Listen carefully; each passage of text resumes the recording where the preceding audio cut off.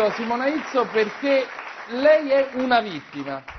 Ha Sono- subito Beh, sono una un furto- rapinata seriale, nel senso che stata, abbiamo subito circa otto furti da quando sono insieme a Ricky, ma ho subito anche due furti quando ero con un altro marito, quindi penso che la vittima sia proprio io, penso che mi seguano, non lo so. Detto questo, ho, ho subito furti in appartamento, furti anche in case dove abito adesso. Quando è stata la prima volta? Cioè, come La- è iniziato? È iniziato con un furto di tappeti. Mi ricordo allora si rubavano i tappeti perché avevano anche un grande valore, non so, erano pesanti e non hanno trovato in casa gioielli eh, perché non avevo ancora messo la cassaforte, erano sparsi. Dopodiché il secondo furto è stato... hanno- Dopo quanto tempo sono dopo- rientrati di nuovo in casa? Sempre nella stessa casa dopo tre anni, nonostante le inferiate, nonostante eh, i dispositivi, insomma, diciamo che abbiamo a disposizione, le armi legittime, i, mh, eh, i il controllo, tutto. Certo, non ho le guardie armate a casa, non me le posso permettere. È vero che avete addirittura blindato la camera da letto? Abbiamo blindato la camera, la camera da letto che ha due porte, e, infatti però devo dire il penultimo furto eh, lo hanno fatto sotto, noi abbiamo due piani, nel piano inferiore, noi non abbiamo sentito per fortuna niente, hanno mangiato anche il eh, risotto che era avanzato, anzi l'arrosto di maiale che aveva fatto Ricky, quindi hanno fatto tutto, hanno preso anche la nostra macchina. Eh, l'ultimo fu- hanno l'ultimo furto è, è Hanno successo smurato una volta la cassaforte? due volte.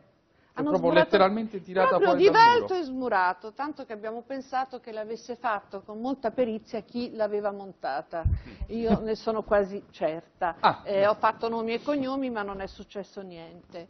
E non era, io penso che, mh, adesso al di là del gioco e dello scherzo che mi seguano, però certo è che forse, siccome avviene ogni 4-5 anni, pensano che ogni 4-5 anni una donna si possa ricomprare quei gioiellini che era riuscita ad accumulare nella sua breve o Eh, lunga Ti danno il tempo di Mi danno il tempo di rimpinguare, cosa che io non ho fatto, quindi stavolta è andata male. L'unica cosa che davvero Ecco, mi ma ha la blindatura della camera da letto poi come funziona praticamente? Che Funziona? vi chiudete quando, Ci chiudiamo a chiave in camera da letto. quando andate a dormire? quando andiamo a dormire, adesso mi chiuderò pure il pomeriggio perché eh, sono terrorizzata, e ci chiudiamo in camera da letto in modo che facciano, di noi facciano della casa ciò che vogliono, ma almeno salviamo noi Anche stessi, di giorno o problema- sempre di notte? Anche durante l'anno o solo quando siete in vacanza? Questa volta allora c'è stato un furto che aveva anche un titolo, che era In questo mondo di ladri, Ricky stava girando, non voglio sdrammatizzare ma forse sì, Ricky stava girando un film che si intitola Questo mondo di ladri, peraltro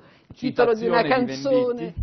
del mio ex marito e, e, mm, mi telefonò eh, la persona che si occupa della casa e mi disse sai hanno portato papà in ospedale, quindi io mi preoccupai molto. Dopo mezz'ora mi telefonò piangendo e io dissi oddio è successo qualcosa a mio padre e invece mi hanno detto hanno divelto la cassaforte e preso tutto ciò che c'era. Allora quello fu un colpo grosso perché andavamo al mare per cui io lasciai tutto a casa. L'ultimo giovedì, giove- Questo? questo giovedì, quindi sono fresca fresca di rapina. In questo caso è stata proprio una rapina perché in casa c'erano due persone, eh, le persone che ci aiutano a casa, e noi siamo usciti alle 5, devo dire che ho dimenticato di mettere eh, l'allarme quindi ho agevolato, perché loro erano usciti, poi sono tornate le persone di servizio e quando sono tornate si sono resi conto che in casa c'erano, eh, c'era tramestio, c'era- c'erano, c'erano rumori, ma non così. Peraltro hanno usato il frullino, peraltro hanno preso ancora una volta la cassaforte,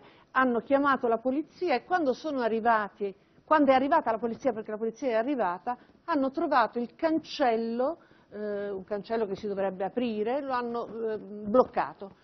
Quindi era la prima volta che mi succede, eh, in tutti i miei furti nessuno ha bloccato un cancello, quindi per non far entrare la polizia hanno bloccato il cancello. Solo una cosa, avete preso tutto questo tipo di precauzioni, avete fortificato in qualche modo la casa, Abbiamo fortificato... però non sei ricorsa alle armi. Mai, io non ricorro, non ho neanche mai regalato ai miei nipoti, che sono tanti, un'arma giocattolo. Eh, quando dobbiamo girare un film dove c'è eh, Attrezzi di scena? delle armi, ci sono degli attrezzi di scena, ho paura anche lì. Eh, eh, le, le pistole mi danno molta ansia e da, da sceneggiatrice, posso dire una cosa da sceneggiatrice, siccome le pistole emozionano, ed emoziona anche quando si gira, tu avrai avuto un piccolo esplosivo Esatto, lì nella tua la scena, carica, sì. la piccola Io ho carica provato perché il fascino per quell'arma. lo so, arriva il colpo e l'attore sente, perché deve, deve- c'è Certo. un piccolo espl- per cui è molto emozionante. C'è un bellissimo film, anzi ce ne sono due che io vorrei consigliare ai tuoi ospiti. Uno è Bullying Columbine, che ha scritto Michael Moore, grandissimo film, dove si racconta Ovvio. come il possesso delle armi possa creare eh, l'uso indiscriminato delle armi. Columbine era un'università, Certo. come sapete, Dove è avvenuta una strage tremenda. e l'altro è il giocattolo. Il giocattolo che è un grande film di Montaldo dove un mite, un mite eh, uomo comune che poi era Manfredi, Ah, Manfredi. in possesso, entra in possesso di una pistola grazie ad un'amicizia con un suo eh, amico poliziotto e lì eh, cambia, il La sua suo- psicologia. cambia la sua psicologia e diventa, e dive- il giocattolo è il termine è molto forte perché è un giocattolo, un'arma, ma è un giocattolo che può uccidere.